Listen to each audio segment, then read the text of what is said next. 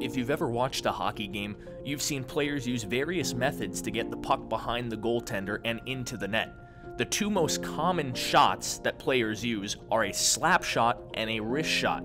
But which one is more effective, and when should you use those certain shots in situations? Here during STEM with the Saints month, we're going to teach you exactly which shot is better and why.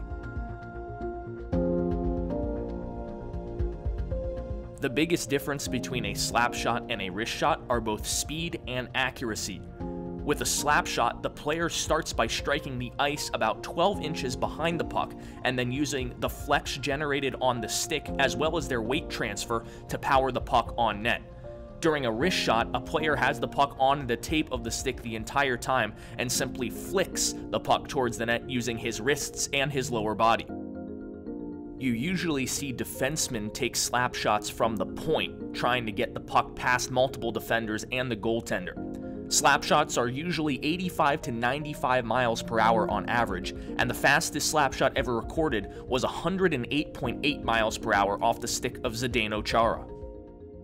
Wrist shots vary in speed much more than slap shots, but are typically 15 to 20 miles per hour slower. You'll see players use wrist shots a lot because of the accuracy and how precise you can be with placing the puck. That's why players will use these wrist shots in tight a lot more than a slap shot. So which shot is more effective? When it comes to trying to score goals, the wrist shot is the weapon of choice. In the NHL, nearly 50% of all goals are scored because of a wrist shot. Though we don't have the exact numbers at the USHL level, one can assume that they would roughly translate the same at this level of hockey. If you're trying to score goals, go for the wrist shot.